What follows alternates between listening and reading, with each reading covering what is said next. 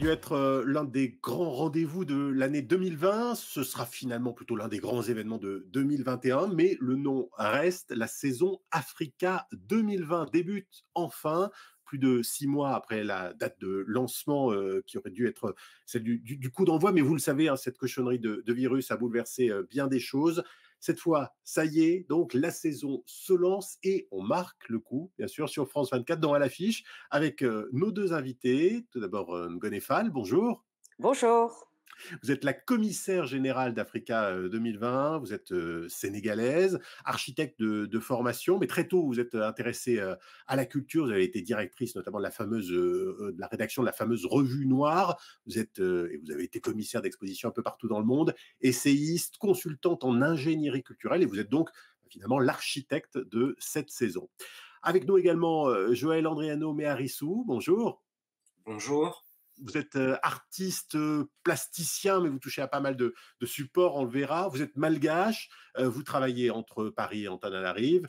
et l'an dernier, vous aviez représenté d'ailleurs Madagascar dans le premier pavillon malgache de la Biennale de Venise. Vous êtes donc l'un des très nombreux artistes qui participent à cette saison Africa 2020. On va vous donner la parole à tous les deux dans un instant.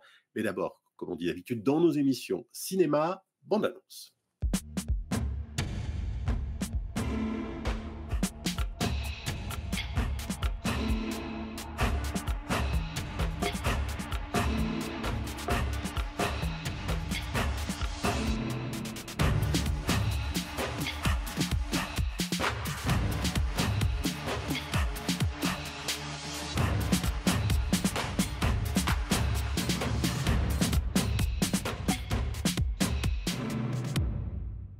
Voilà donc en 30 secondes hein, l'esprit de cette saison Africa 2020.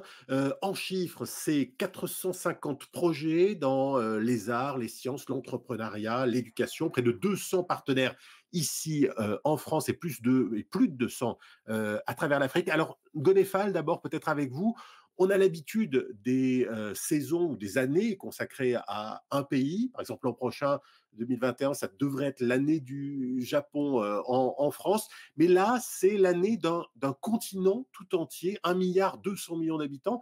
Est-ce que finalement, c'est pas un peu ambitieux? Euh, si, forcément, euh, quand un pays euh, veut consacrer une programmation sur plusieurs mois à tout un continent de plus de 30 millions de kilomètres carrés, c'est forcément ambitieux, mais il faut pouvoir relever le défi et en faire un projet intelligent. Alors, qu'est-ce qui lie tous ces, tous ces pays, tous ces peuples, selon vous? Est-ce qu'il y a finalement une identité africaine? Alors, il y a ce qu'on pourrait appeler un sentiment d'appartenance, puisqu'on a plusieurs personnes qui plutôt que de dire je suis sénégalais, je suis malgache, je suis burkinabé ou je suis nigérian, de dire je suis africain. Donc ce sentiment d'appartenance à un même territoire, à une histoire commune euh, et à un destin commun, c'est une réalité. Joël Andriano Rissou, vous êtes l'un des très nombreux artistes qui vont participer à cette, à cette saison, et à travers notamment une carte blanche à Aigues-Mortes, dans le sud de la France. Alors dites-moi, en quoi ça consiste, cette carte blanche? Alors c'est un c'est un projet effectivement assez ambitieux, aussi ambitieux que de parler d'un continent, parce que c'est la première fois que je vais finalement faire une exposition quasiment sur deux kilomètres. Par rapport à l'histoire d'Aigues-Mortes, j'y ai, ai mis beaucoup, on va dire euh, finalement beaucoup d'histoire dans le scénario de l'exposition. Je parle à la fois du monument, donc comme un, on va dire un hommage au monument. En même temps, je dévie les histoires du monument. Euh, je parle à la fois de Madagascar, à la travers un, un, un poète qui s'appelle Maurice Ramarzac. Je parle aussi euh, de tout ce qui a pu, de tous, de tous les éléments qui ont pu, en tous les cas, traverser Aigues-Mortes, en sachant qu'Aigues-Mortes était un port. Et je trouve que l'idée d'un port, l'idée d'un hub est un élément extrêmement intéressant dans une thématique comme Africa 2020 justement où où ce sont les croisements qui sont intéressants. Donc je, croise énormément d'histoires. Mon projet est un peu, on va dire, il est un peu compliqué de le définir comme ça parce que malgré tout ça reste un projet visuel. Mais mais l'idée aujourd'hui c'est de, de, rentrer dans des éléments euh, on va dire monumentaux. Ça veut dire que je construis quasiment des architectures, je refais des tours nouvelles, comme si je dessinais de nouveaux châteaux. Ces châteaux sont en référence à différentes choses.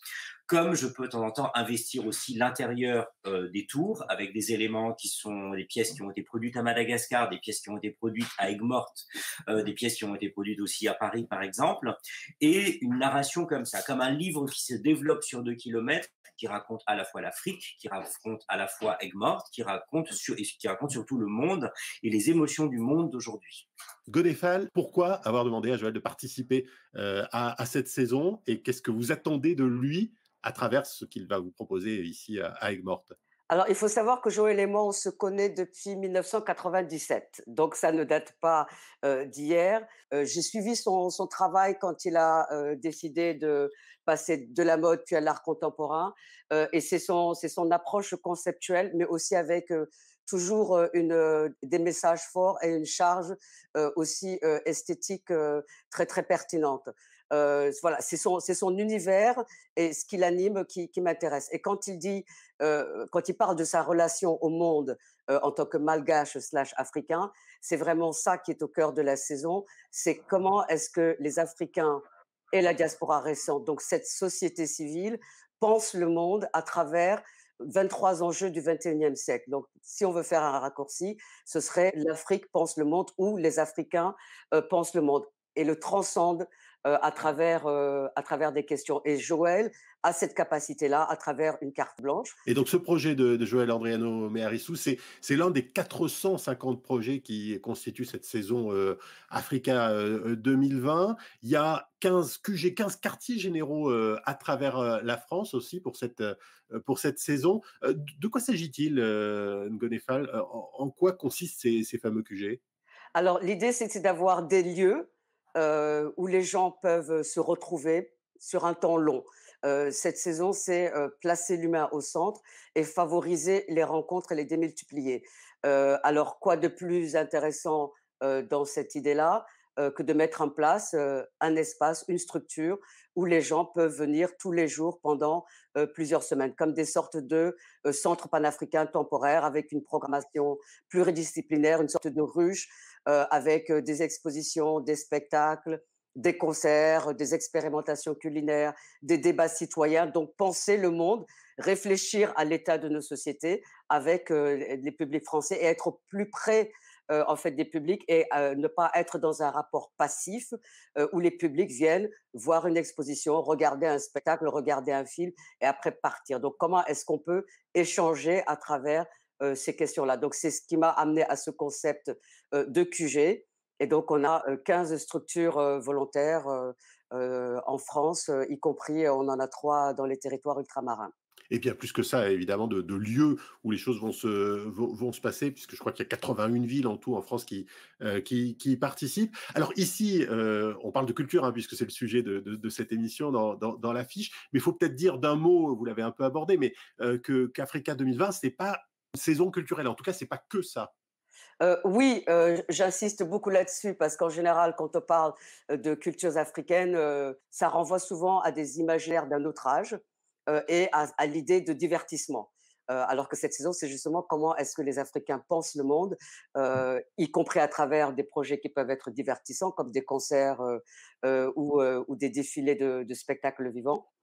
mais la question, c'est véritablement comment est-ce qu'on pense le monde, comment est-ce qu'on réfléchit et comment est-ce qu'on apporte des, des idées ou des façons de faire qui nous permettent d'avancer en termes de construction de, de, société. La saison englobe tous les champs de l'activité humaine et elle est pluridisciplinaire. Ça veut dire que même Joël, en tant qu'artiste contemporain, quand il fait un projet qui est une carte blanche, il associe d'autres personnes. Donc il y a un volet euh, littérature, il y a un volet autour du débat et de la pensée, euh, il y a un volet autour de la gastronomie pour parler de terroir, de territoire, de voyage des, des, euh, des êtres humains et des plantes.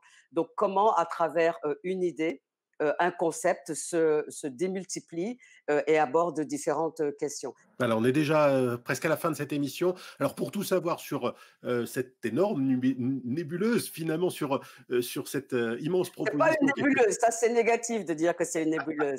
Disons, disons, disons, avec enthousiasme, un gros bazar très intéressant.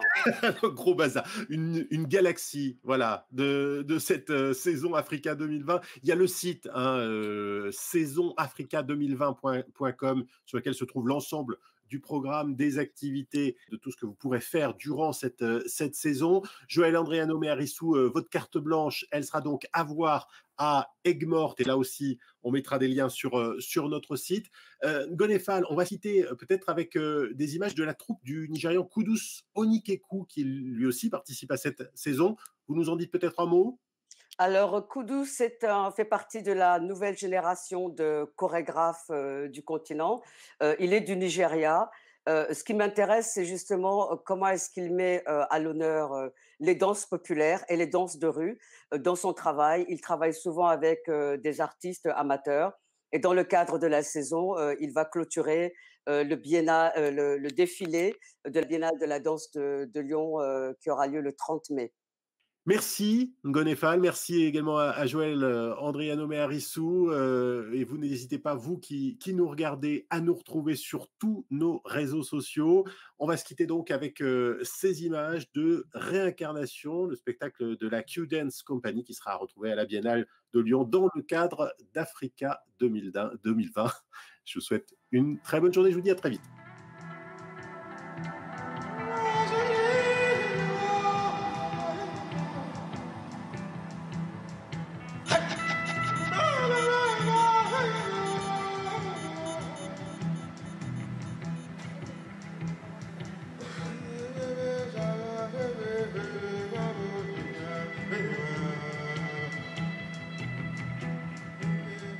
Vous avez regardé votre programme avec les aspirateurs 1000. Aspirateur 1000, une gamme complète pour tous les besoins. 1000, immeuble SA. C'était votre programme avec Spotify. Merci à toutes celles et ceux qui ont passé l'année avec nous. Écoutez votre rétrospective 2020 sur Spotify.